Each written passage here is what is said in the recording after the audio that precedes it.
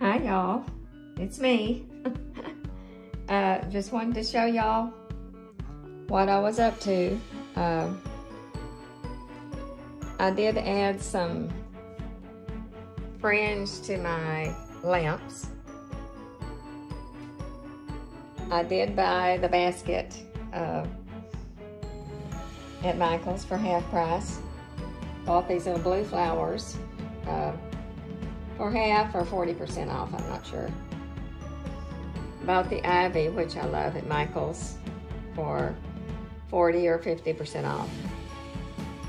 I had said in my first video that these were from Hobby Lobby, but they're actually from Michael's for 50 or 40% off. This is my sign. This is our happy place. This is my container. I thought it was cute. And I got it from Hobby Lobby. Probably half price. Found a new little bird at Hobby Lobby. I like her. And found the picture at Michael's for maybe 50% off. I don't remember.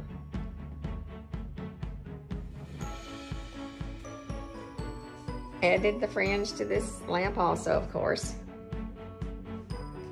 I love decorating this console table. I'm so glad that I had bought it. We didn't think really, excuse me. We didn't think that uh, we'd have room in this hall but we have plenty of room.